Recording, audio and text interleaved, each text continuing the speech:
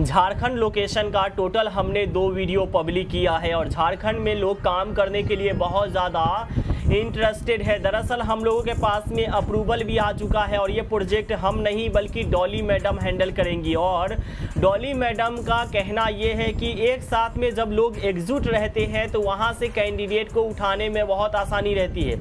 एक बात समझिए कि अगर आप कॉल करते हो, जैसे कि आपने फ़ोन उठाया, कॉल किया, आप जैसे हज़ारों लोग होते हैं जो एक साथ कॉल करना स्टार्ट कर देते हैं। बात कितने से होगी? एक से होगी।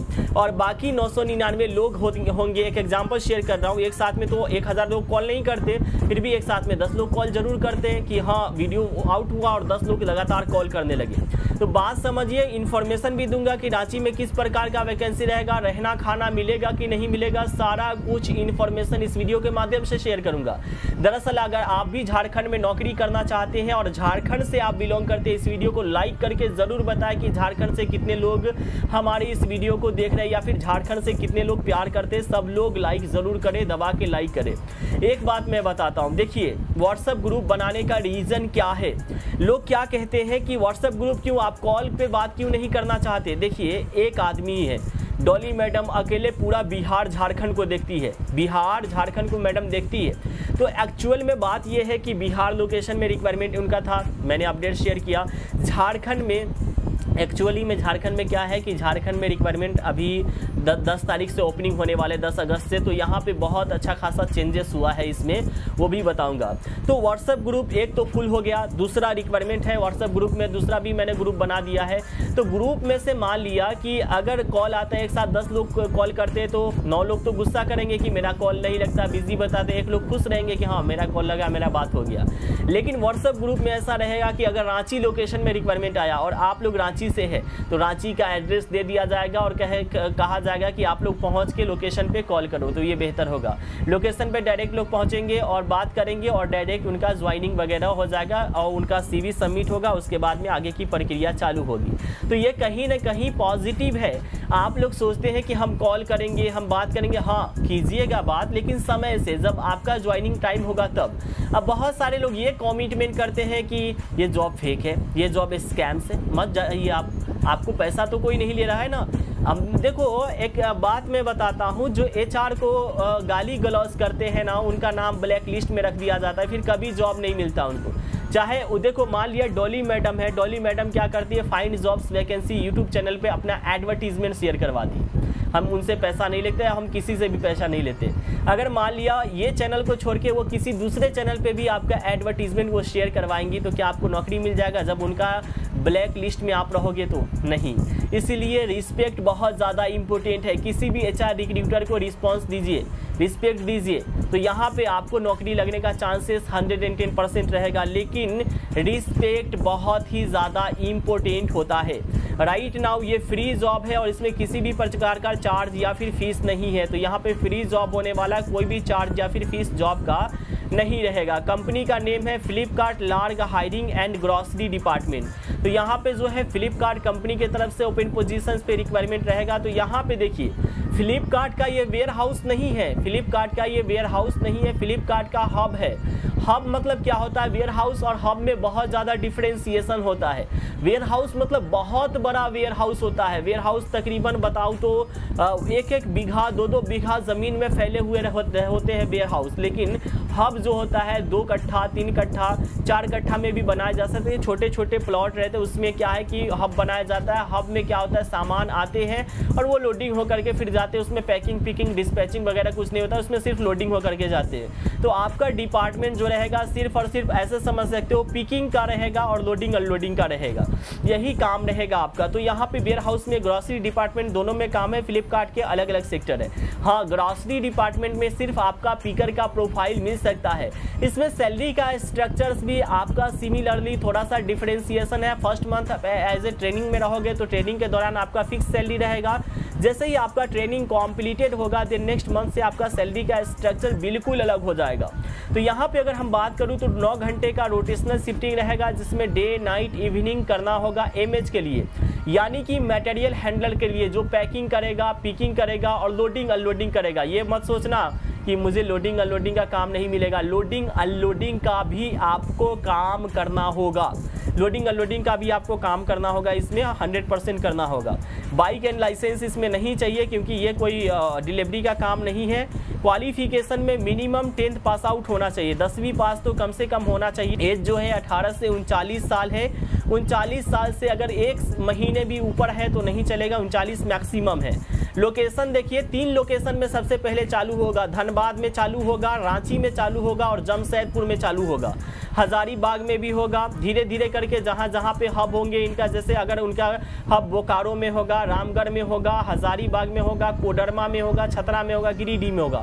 अगर इनका हब यहाँ पे रहेगा तो डेफिनेटली से यहाँ पे भी ओपन पोजिशन से वैकेंसी आएँगी आरकोस कंपनी की तरफ़ से। लेकिन जमशेदपुर, रांची, धनबाद, ये तीन लोकेशन में डेफिनेटली से आने वाला है। अभी फ़िलहाल जो आपका सैलरी रहेगा, वो फिक्स सैलरी रहेगा। एक महीने तक उसके बाद वैन डिलीवरी एग्जीक्यूटिव का पर पार्सल के हिसाब से हो जाएगा। देखिए, इसमें जो है एमएच का सैलरी थोड़ा सा कम है, पंचानवे सौ रुपये इन हैंड रहेगा। अब एमएच का सैलरी इसलिए कम है कि वेयर हाउस में ज़्यादा सैलरी नहीं मिलता तो एमएच का सैलरी कम है, इसमें रहना खाना भी नहीं है। कोई भी जो है, रांची में कोई भी, झारखंड में कोई भी वैकेंसी आएगा, उसमें रहना खाना नहीं है। एक टाइम का भी खाना कंपनी नहीं देती है, बाकी आपको मैनेजमेंट करना इनफैक्ट यहाँ पे जो है जो कमाई है एमएच का कमाई इसमें नहीं है। मैं साफ़ साफ़ बोलता हूँ, जो मटेरियल हैंडलर होते हैं वेयर हाउस के अंदर में रहते हैं ना, उसका चौरानवे सौ संतावन रुपये उनका पर मंथ का सैलरी आता है, जो पिकिंग करते हैं लोडिंग अनलोडिंग करते हैं, नौ घंटे कंटिन्यू उनका। तो पंचानवे सौ के अप्रॉक्स में मान सकते हो कि उनका सैलरी आता है, लेकिन उसमें बचेगा कितना? भाई ट्रैवलिंग जाएगा रूम रेंट जाएगा, खाना जाएगा तो उनका पैसा नहीं बचेगा। लेकिन वही वैन डिलीवरी एग्जीक्यूटिव अच्छा खासा पैसा कमाता है, वो कैसे? क्योंकि वैन डिलीवरी डिलीवरी एग्जीक्यूटिव का पहले महीने एज ए फिक्स सैलरी रहेगा। First month fix fix salary रहेगा, बारह हज़ार नौ सौ चालीस सी टी सी रहेगा इन हैंड दस हज़ार तक आएँगे। तो ये दस हज़ार रुपये तक पहले महीने का सैलरी या पहले महीने का सैलरी रहेगी वैन डिलीवरी एग्जीक्यूटिव का दूसरे महीने से वह लोग अठारह से बीस हज़ार के बीच में कमाएँगे। वो कैसे? इसके बारे में भी थोड़ा सा एक्सप्लेशन ज़रूरी होता है। तो यहाँ पे दूसरे महीने से उनको कमाई का पोटेंशियल कैसे होता है? देखिए, एक वैन है। वैन है, उसमें कितना पार्सल अटेगा? 25 से 30 पार्सल तो अटेंगे ही अटेंगे। तो 25 से 30 पार्सल उनको डिलीवरी करना होगा रोज़। आप देखिए, वैन डिलीवरी का कमाई अच्छा है तो इसका ड्यूटी भी नौ घंटे का नहीं है। इनके ड्यूटी का कोई फिक्स टाइम नहीं है। सुबह सात बजे इनको कंपनी में पहुँचना ही पहुँचना है। अगर कोई रांची से है तो रांची में ही उनको काम मिलेगा। जो है धनबाद से है, उनको धनबाद में ही काम मिलेगा। मतलब हब लोकेशन से उनको, जो घर की दूरी है, बीस किलोमीटर के अराउंड में होना चाहिए। अगर बीस किलोमीटर से ज़्यादा है उनको रूट का पता है तो उनके लिए बेहतर होगा। तो यहाँ पे देखिए आप लोग, यहाँ पे 25 से 30 पार्सल रोज मिलेंगे और यहाँ पे पार्सल, एक पार्सल का रेट तैतीस रुपये है।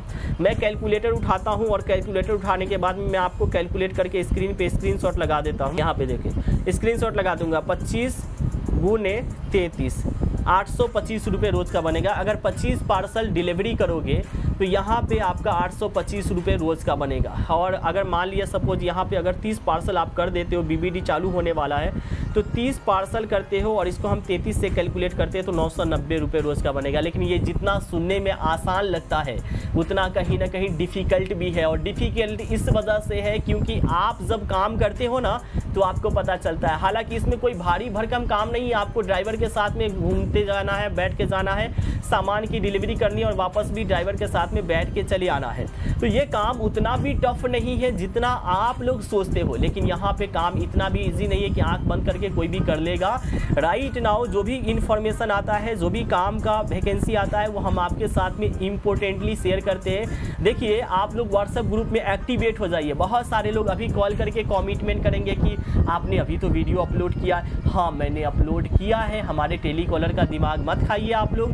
ग्रुप में जुड़े रहिए। दोनों ग्रुप में अपडेट होगा। एक एक लोकेशन का शेयरिंग किया जाएगा। एक एक लोकेशन करके अपडेट किया जाएगा। तो एक एक लोकेशन का पर्टिकुलरली वैकेंसी रहेगा और एक एक लोकेशन का आपके साथ में शेयर किया जाएगा।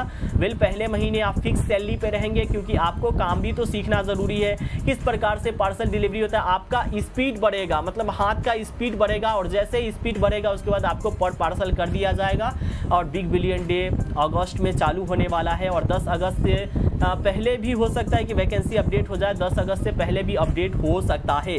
तो ये अपडेट हो जाएगा तो ये आपके लिए बेहतरीन अपॉर्चुनिटीज़ रहेगा। याद रखिए कि ये प्रोजेक्ट जो है डॉली मैडम हैंडल करती है और और डॉली मैडम का लास्ट में दस नंबर है, उसी को व्हाट्सअप कीजिए, उसी को कॉल कीजिए। यहाँ पे अमन सर को या फिर कोई भी दूसरे रिक्रूटर को या फिर दूसरे एडमिन को कॉल ना कीजिए, जिनका लास्ट में दस नंबर होगा। फीमेल है डॉली मैडम तो आप उनको कमिटमेंट कर सकते हैं कॉल कर सकते हैं और व्हाट्सअप कर सकते हैं। लेकिन अभी मत कीजिए, दस अगस्त से चालू होने वाला है ग्रुप में अपडेट आएगा, आप लोग मैसेजेस वगैरह कर सकते हैं, जो आपको पोस्ट डालेंगे। मिलते हैं कोई नई रिक्रूटमेंट के हिसाब से, साथ में, तब तक के लिए जय हिंद, जय भारत।